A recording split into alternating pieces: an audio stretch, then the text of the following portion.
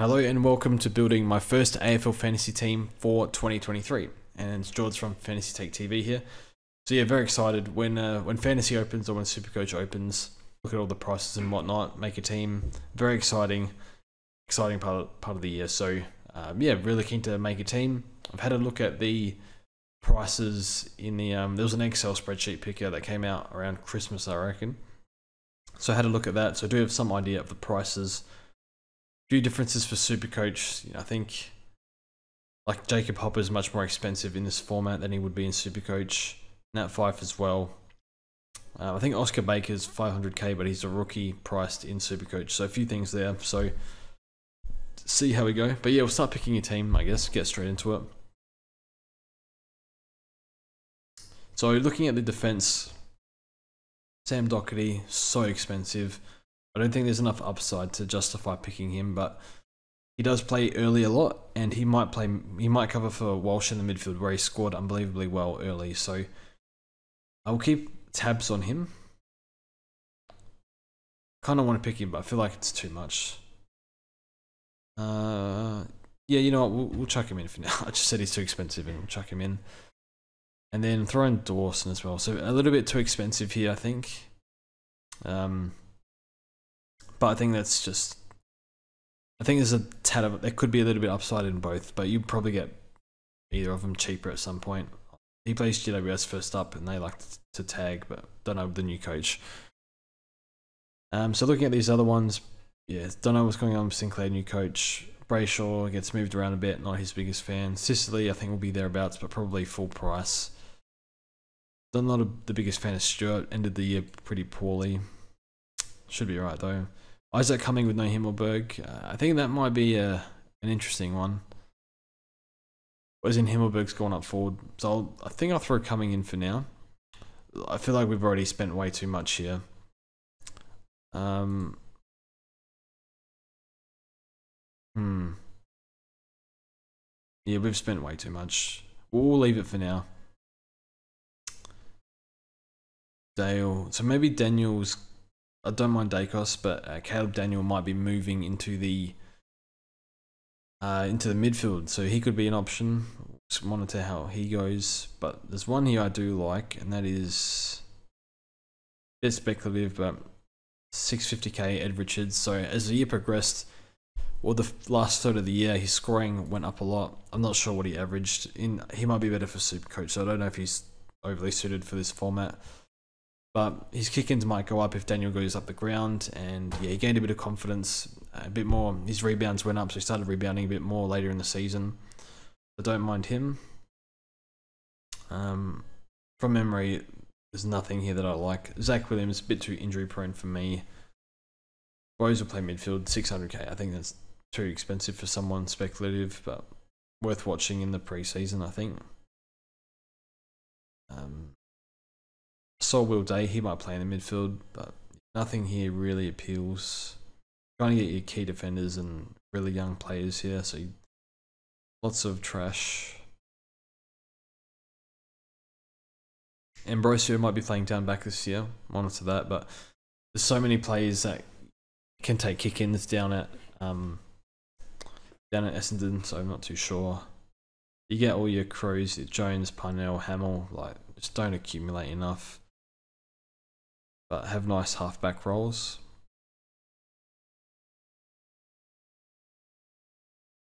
I'll monitor Caulfield. I think he's done a hamstring, but I think he can do better than that. And then throw in Jayden Hunt. So just purely on new club, should get a halfback role.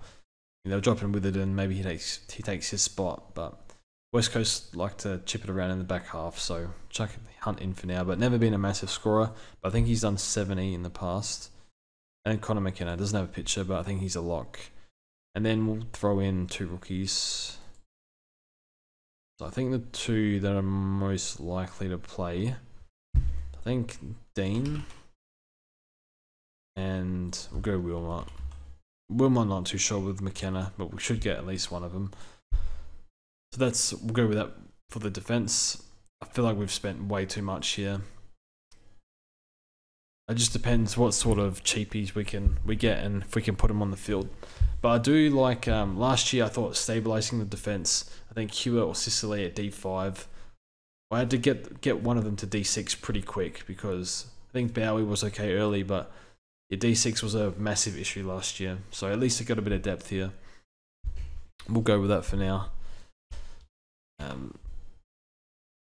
now midfield, Laird. I think I've already spent enough. I don't think I can go Laird, but if I do, would have to get rid of Docherty or something. But I just feel yeah a bit too expensive. Generally, the M1 always falls most of the time. Brayshaw plays St Kilda. Maybe he cops Windhager around one. Probably leave that, but uh, I think he can do well this year. Oliver, don't mind Oliver. One one two. Yeah, I think I want to get him in as soon as possible. Mills gets thrown around. Still, not too sure. In limited training at the moment. Otherwise, I'd probably pick him. Has the injury game. I think we'll throw him in for now. Reasonably good captain option, I think. I like Merrett. Oh, he might get Finn Maginness round one. Don't know about Jack Macrae.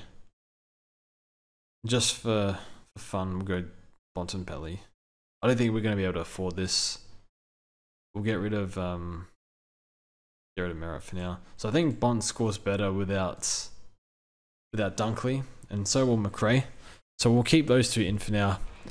Uh, I'm not sure I've done the right thing here because Bont is definitely better for Supercoach, like much much better for Supercoach than he is for Fantasy. So, uh, but yeah, just no Dunkley. We'll see how he goes. I'm not sure Bont is the answer here, but we'll leave him in. The other one I think is probably Tom Mitchell, but I'm not too sure. Uh, I don't know if I trust either of these guys with captains. Still sort of, but yeah, don't know. Had a few down games last year that he didn't have the year before. So we'll roll with that for now, and we've got to find some value here. So Whitfield, uh, I couldn't go back. Been there, done that. Perryman might be okay. Sam Berry, I think, will improve this year, but not sure there's enough. I suppose you want him to be what make from that point. Probably don't want to trade him out anytime soon, so don't know. I'll monitor him because his CBA should be really, really high, so that'll be good. Nothing really here. Danger and Dusty, roughly same price, but I don't think you can go back to them ever again.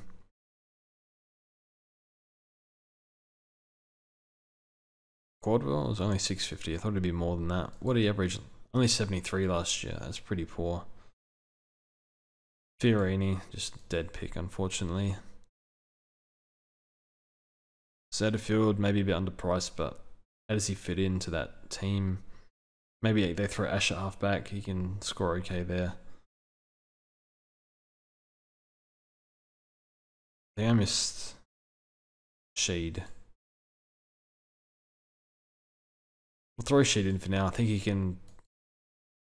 Uh, I don't know what he's priced at. We'll check his CBAs because I know in um in 2022 he had one game with 88% CBAs, but that was the only game he played, and I think his CBAs in another year were like in the 50s or something. So maybe he gets a big spike there. I don't know, but we'll watch that.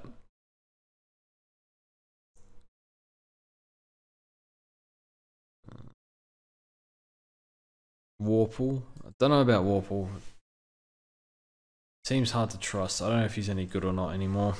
But no Tom Mitchell might help him. Skip him for now because I don't know. Just, it's been just a below average player for a while now.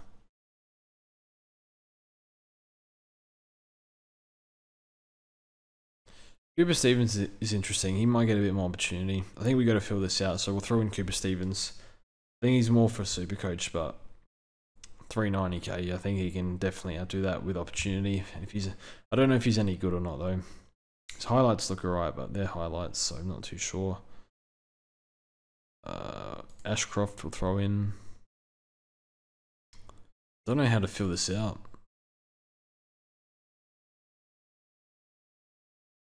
Uh.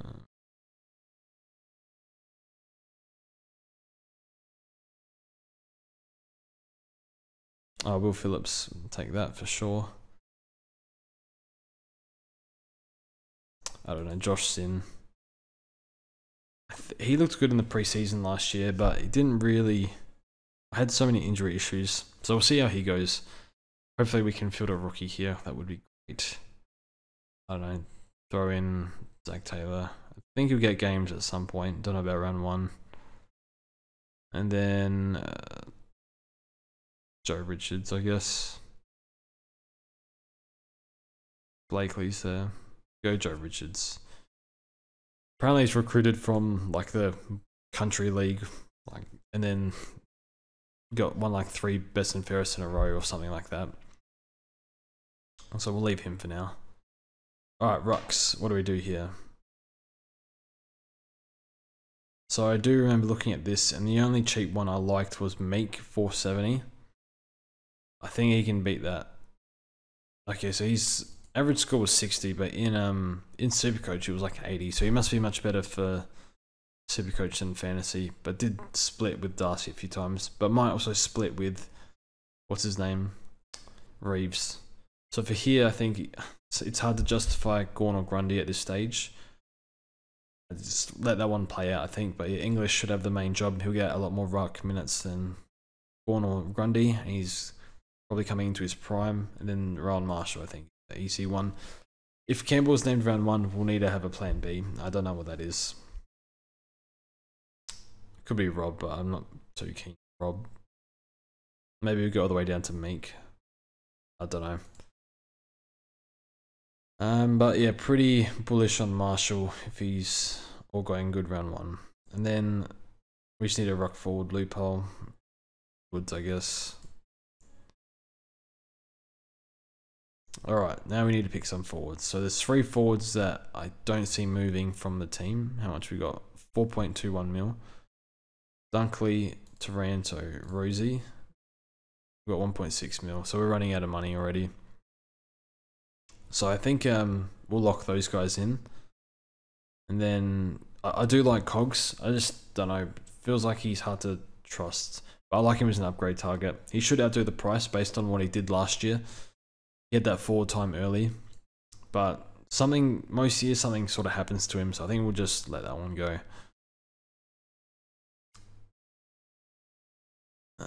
Probably gonna need to find a bit of money here. I'm not the biggest fan of Cameron, so I'm gonna skip that. I just don't know what happens. The balance with Cox is next year.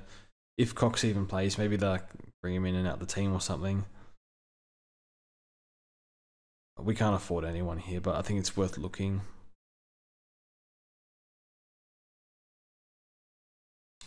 Don't see anything that appeals here. I know Toby McLean's coming up. Horn Francis 550. Wonder what he can do. I think he's coming off surgery though.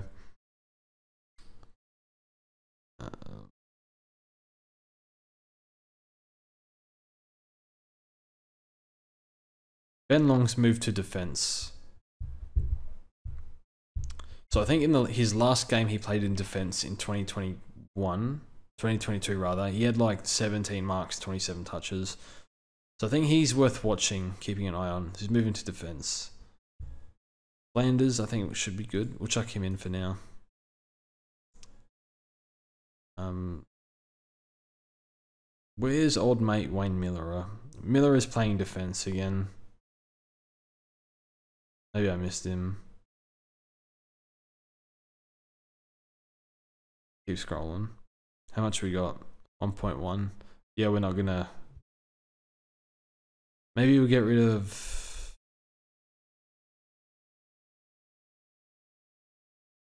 Get rid of Steele. Get rid of Bont, I reckon. We'll find a solution. Um, I think we'll put McLean in the midfield for now. Just fill that spot. So we'll chuck him in the midfield. And then, how much is Milera? Oh, 440. He's playing halfback. I'm not. I'm not Milera's biggest fan and his durability is atrocious. But he's going to get a halfback role. He's training there this year, so we'll chuck him in for now. But my God, is he frustrating as a Crow supporter. He can score off halfback with the role. He just needs to be fit, go well. But yeah, he, is every chance he gets pulled out of that spot at some point, but we'll just chuck him there for now. So we got 1.16 mil. I didn't think I spoke about Flanders, but yeah, 117 average in the VFL or something silly. So I was, had a game where he got where he had 46 touches, so that's pretty good.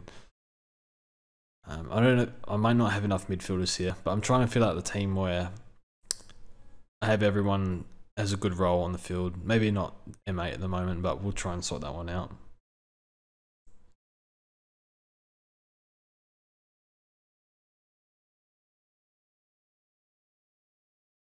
I'm not sure if I missed anyone here.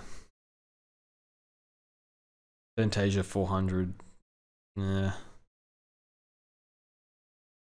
Too much. But apparently he's fit. Had a read an article on him today.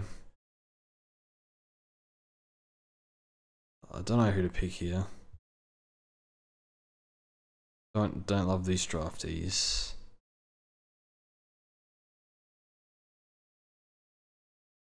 Um the guy's name's Bins. That's pretty funny. Oh god, Luke Pedlar. Oh boy. Very injury prone, but apparently he's fully fit at the moment, so he can stay in for now. And then we'll just fill it with rookies. So I know Van Rooyen will play. Van Rooyen.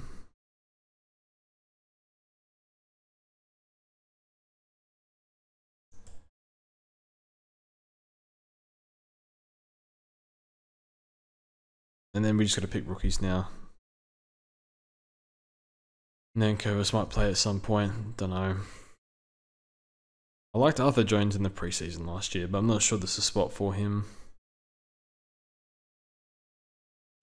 Uh, I think we're wasting our time here. Let's just pick somebody. Uh, I don't know. Sam Sturt. Injury prone as hell. Lowry. We'll go big Tex Wanganeen. How much money do we have? Oh, we have heaps of money. Um, let's do. We can pick anyone, I think. Let's get rid of Tex. We'll chuck in Ben Long. Just because he's playing half, might play halfback. Uh, there was I did read an article the other day that said that he wants to play halfback. So basically, making sure everyone has a good role here. So everyone in defense should have a good role. Everyone in the midfield should have a good role, except maybe Sinn. Hopefully, if someone pops up, they have a good role. These guys are midfielders. Flanders, I hope, is a midfielder. Just needs to earn his spot. And then Ben Long and Wayne Milera are, should get half-back roles. Nice role change for them. Uh, not too sure. Need to watch them in the preseason. But that's the team for now. I don't know if I'm happy with it or not. Got McLean as well. I, um, in the in the midfield. I don't know if maybe two midfielders is not enough because I think last year our cash gen was so good. Maybe we take that for granted and it'll be really difficult to bring players in. So um, yeah, we'll see how we go. But yeah, thanks for watching the video. Let me know what players you're keen on and whatnot, and we'll see you guys next time.